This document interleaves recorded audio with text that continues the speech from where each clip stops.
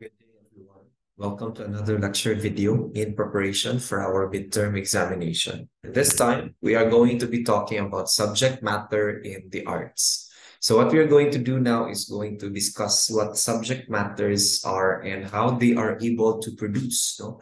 arts that stand the test of time. So in this particular lesson, we are going to be discussing how in this case, figurative versus non-figurative subject matter is a very huge offshoot to our discussion. Hence, we have representational versus non-representational art.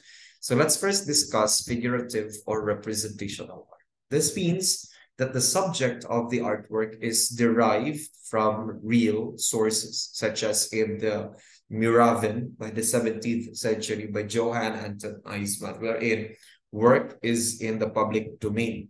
So if you're going to see this particular artwork, makita nimo that it is really a representation no, of what is seen in the real sources or what is depicted in the real sense sa actual gyud nga panghitabo. Hence, kung yung tag figurative or representational art, mauni siya ang nahitabo sa realidad.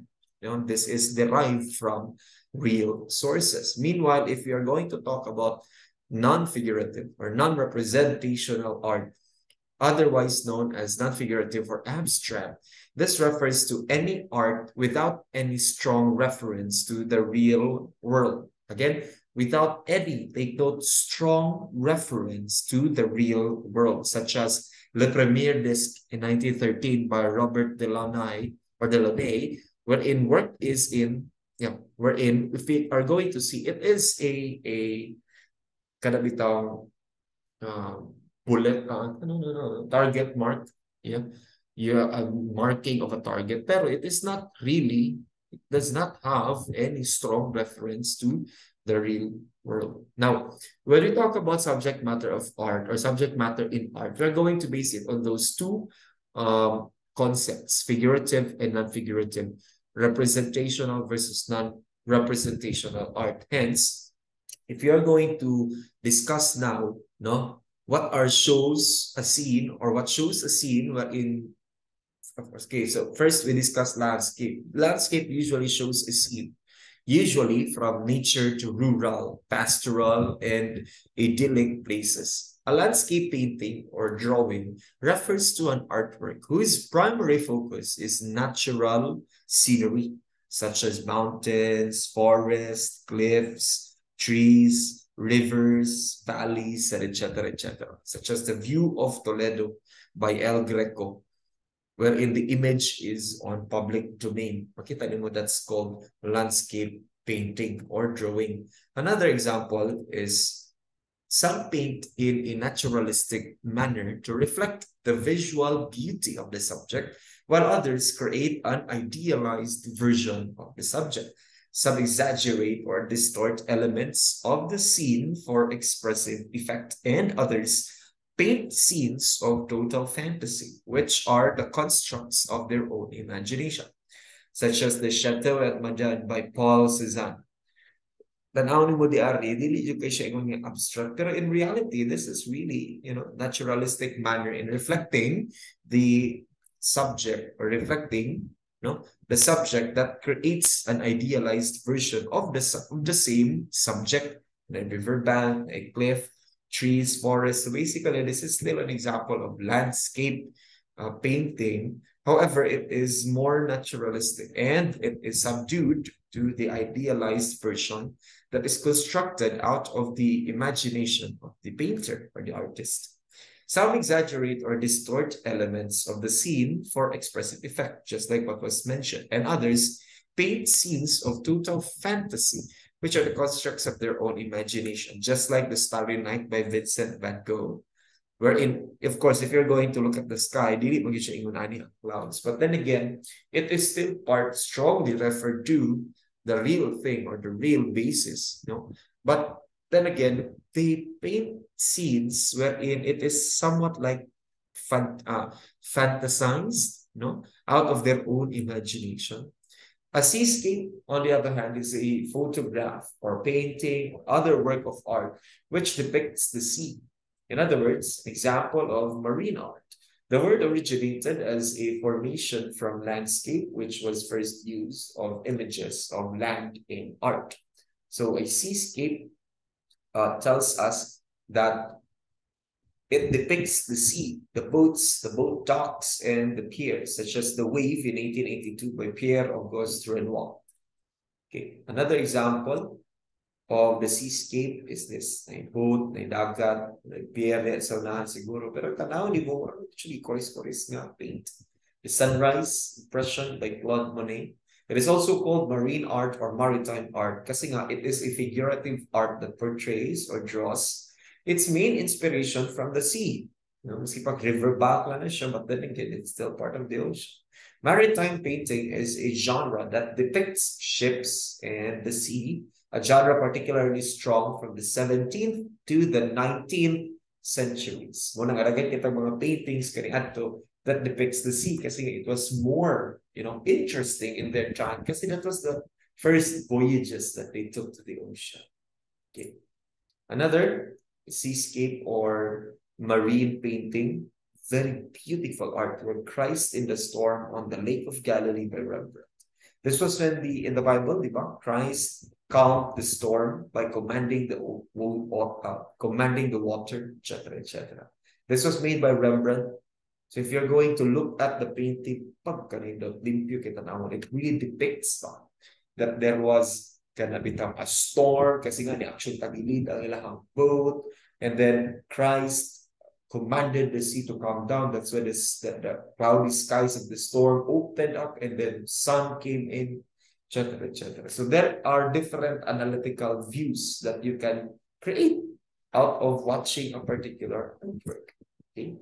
Another is still life, wherein this conforms to the notion or to the maxim natura morta, or literally means dead nature. Still life refers to work whose subject matter are natural objects and whose forms are arranged deliberately like a basket of fruits, a porcelain cup, or textile with a bunch of flowers. Traditionally, still life is the drawing and painting of items such as fruit, flowers, and household objects which are usually arranged on a tabletop. Kasi nga, still, no movement or action is being portrayed. Such as the allegory of the vanities of human life by Harmen Steenwyck. So there is there a samurai, may skull diha, na heater panahon, there's a notebook, seashell, a jar, etc., etc. Now, if you're going to talk further about this, uh, artworks, no, we have portrait. Uh, by the way, class, we are we are still focusing on the subject matter. Hence, there are only different ways of portraying it. Another is the portrait. This is the painting of the human figure. When you portrait gani, it's it's really of the human subject that is the the main idea or the main subject, the painting. The earliest examples of individual portraits in art come from ancient Rome and are mostly painted with tempera or encaustic on a wooden panel. Portrait painting, as we understand it today, evolves from the Renaissance portraiture.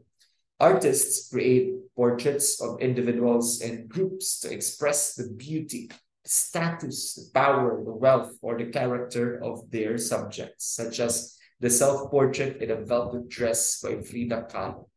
So you can you can depict a lot of things such as beauty, status, power, wealth, etc., etc. Okay. Now, in continuation with portrait, artists use a wide range of media for portraiture, including drawing, painting, sculpture, photography, and multimedia. Nowadays, it is more of uh, photography, multimedia. Painting is as rare as it was common creando.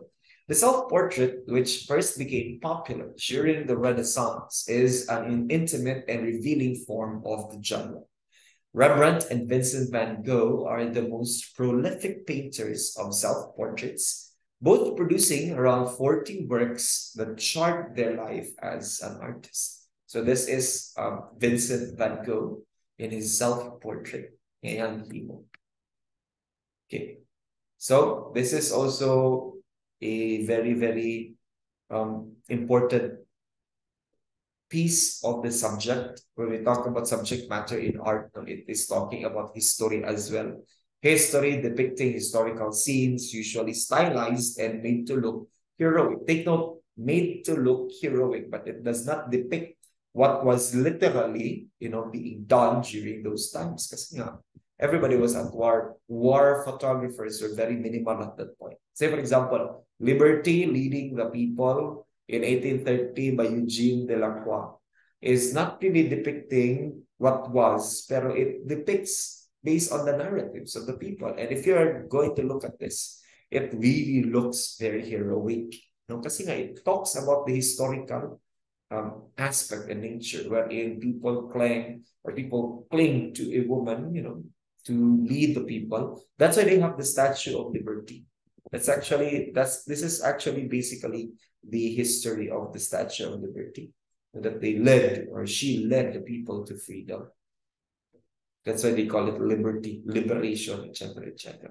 Another is the Raft of the or Raft of the Medusa by Theodore Gericault. So if you're going to look at this, again, this is made to look heroic if you're going to analyze it. Now there are death, there is a victor, and there are different sceneries. So it's it's really talking about tragedy. Parang nakagawa sila sa lugga ba? And they came from very kininangamatay sa kilid, etc., etc. Ano siya. And then, of course, you also have religion, where the subject matter is is in the in the intention is for the service of religion. It depicts religion, such as the creation of Adam by Michelangelo. Pero di ba in the video that I made you watch, there was a conspiracy theorist that said that uh, God here, as depicted, forms or this this image of God here with the angels, etc., form what seems to be like the human brain, wherein it is it is argued by conspiracy theorists that the notion or the concept of God is a is a product or is a byproduct, a result of the thinking of man. So wala gyud daw kuno Ginoo na gyud na siya sa to muna-una. So those are what atheists are trying to argue. Okay? Another is that subject in art talks about the allegorical and symbolic scenes wherein mythology and ancient stories seem to come to life. Allegory in art is when the subject of the artwork or the various elements that form the composition is used to symbolize a deeper moral and or spiritual meaning such as life, death, love, virtue, justice, etc., etc. Most of the representations for this subject in art is in ancient stories and myths, such as the Narcissus by the Caravaggio. Sa kaniadto, wala pa man to mirrors. It was not really prominent. So they would look at river streams, river banks. And then kung magsige kag tanaw, if you can see the, the artwork here, Narcissus by Caravaggio, you're going to see the subject looking at himself intently almost all of the time in the river bank. Kasi nga, is narcissistic. Wapuhan siya sa sarili, so siguro siya tanaw sa sarili. Nowadays, if you're going to look at this, it is now transmitted to, or it is now transformed into the manner of us taking pictures. Kaya bitaw mo, sige ka na lang picture kasi nga, gwapong-gwapo ka sa iyong sarili or gandang-ganda ka sa iyong sarili. So, sige kang selfie, sige kang my day, sige kang post to social media, etc., etc. It's still the same act, just like what the painting is doing. It's just that it is now convened in a very different platform, in a very different medium because of the advancement of technology. Okay. Say, for example, we also have another very interesting one, genre painting, the everyday life, usually showing the rural scenes of planting, harvesting, feasting, and celebrating, such as Nighthawks by Edward Hopper. Uh, this is in the Art Institute of Chicago. Makita ni mo di ari genre painting, it depicts what is common. Say for example, Nighthawks, so sabi kita mo kagabi na ay kananan or cafe nga open and then there are people who would lounge and you know have dates and meet other people there, etc. While the other uh, places in the streets, mingaw na, kaya ng mga tao, etc. So that's an example of such. Another though, uh, aside from genre painting, this is also intimate scenes, also shows intimate scenes from daily life wherein it is invariably the subject of genre painting. The elimination of imaginative content and of idealization focuses attention upon the shrewd observation of types, costumes, and settings. Genre painting is a form of genre art wherein it depicts aspects of everyday life by portraying ordinary people engaging in common activities such as Kanisha, uh, Tinikling. The, this was in 1951 by Fernando Amorsolo. This was an image taken by the Kahimyang Project. Tinikling, of course, is one of our folk dances and siya ang old town barrio setup of Philippines, right? Ano. So, again, as what we have said, it is depicting aspects of everyday life by portraying ordinary people engaged in common activities. Okay, as a general rule of thumb, a genre painting is typically a portrayal of normal events in which individual figures usually play an important role. Genre art is the pictorial representation of, in any of various media of scenes or events from everyday life, such as markets, domestic settings, interiors, parties, and scenes and street scenes, such as the Ligawan by Fernando Solo. So, sabi nito, it is the portrayal of normal events wherein individual figures are or usually play an important role. So kaya to during their times in the 50s and in the 60s, yung animal gid ang ligawan, di ba? Na sila sa palay, nananom sila, na babae, all dressed regally, na lalaki, nagatulog pa mainit, etc., etc. So this was really depicting what was legal one back then in the 60s and in the 50s, even in the in the ancient times of the Philippines.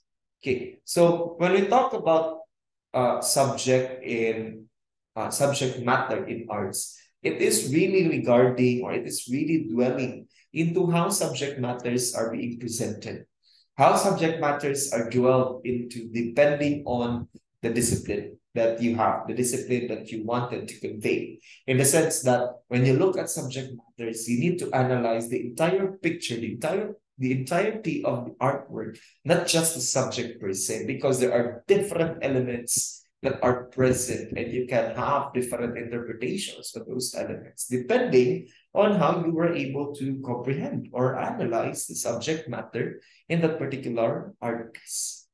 So that's our lesson, subject matter in art. Stay tuned for more lecture videos and preparation for the midterm examination.